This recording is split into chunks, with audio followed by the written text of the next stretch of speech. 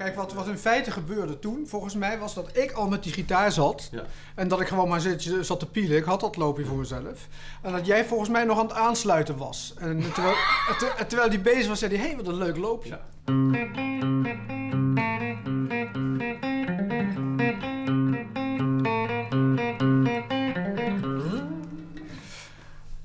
Nou, dat speelde ik dus.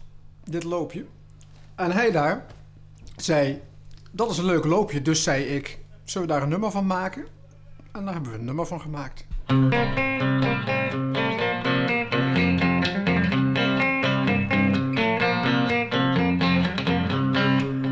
Nou, toen hadden we dus een akkoordenschema. Nou, toen ik dat akkoordenschema hoorde, eh, had ik meteen een idee voor een melodie. Want ik, eh, ik kreeg daar een Steve Miller gevoel van.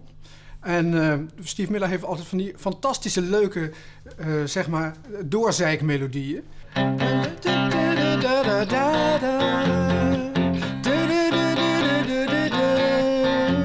Nou, dat, eh, wij deden altijd alles met z'n tweeën, dus zou hij dat zingen en dan moest ik een stem boven doen en dan krijg je het volgende. Drie, vier.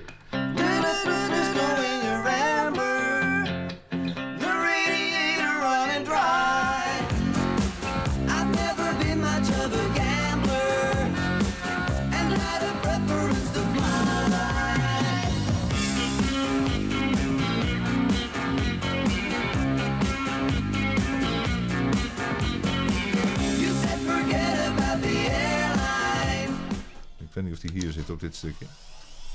Even kijken hoor.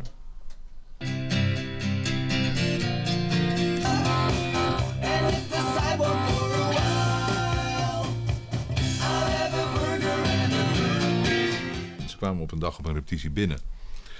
Van, eh, nou ja, dit is het nummer. En eh, ja, ik, ik voel- voelde op een of andere manier meteen wel dat het e- eerder in Amerika kans zou maken dan, eh, dan in Nederland. Ik, ik weet niet waarom. Het is ook een echte road song. En daarom is het in Amerika ook zo'n grote hit geworden.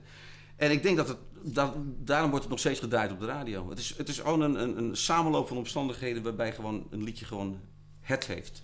Vandaar dat er ook geen covers van zijn gemaakt. Want het kan eigenlijk alleen maar op deze manier gespeeld en opgenomen worden. Het is gewoon, ja.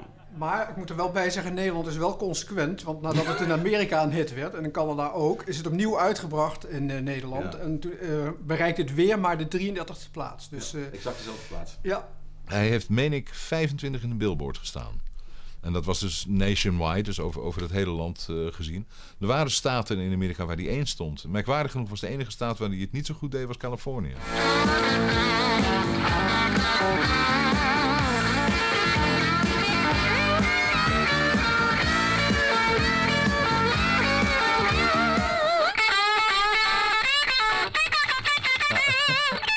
Grappige was dat dat gejengel wat hij daar doet. Da, da, da, da, da, da, dat was eh, een poging van hem om mij de band te laten stoppen. Hij speelt daarvoor namelijk iets, dat vond hij zelf niet mooi. En ik liet de band doorlopen. En toen begon hij weer da, da, da, van stop nou, stop nou. En ik deed dat niet. Ik liet die band doorlopen. Ik vond het prachtig wat er gebeurde. En de technicus ook, die was wild enthousiast.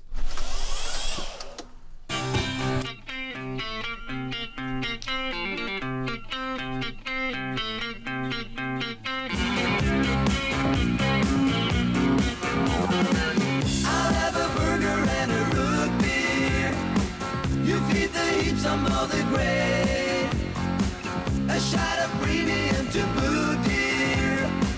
We'll get across the Golden Gate. Dit was het tourshirt dat wij aantroffen toen we er aankwamen. En wat schetste onze verbazing? De drummer was wegge- weggehaald. Dit is de oorspronkelijke foto. Heel arty Hollandse foto, waarbij de drummer als een soort passant opstaat. En die Amerikanen dachten van, hé, dat is gewoon een, vervelende omstander. Die, retoucheren we weg. Toen hebben we in Canada vlug een andere foto laten maken waar we met z'n vijf op staan. En het werd dus het, eh, het nieuwe tourshirt. En hoe bekend waren jullie in Amerika? Nou, op dat moment erg bekend natuurlijk, want Het wij... was heel bekend. Ja. Je, je kon eh, niet rijden, de radio aanzetten, die EM-stations, eh, elke eh, 20, 30, 40 kilometer een ander station. We hoorden onszelf de hele tijd. We Ja, werden wij gespeeld stonden- Wij alsof we- stonden toen in de, in de hitparade, dus elke keer steeg die plaat weer. Het is natuurlijk een enorme kick om daar rond te rijden en dan in een, in een of andere diner eh, in de Midwest binnen te komen en dat je plaat uit de jukebox komt.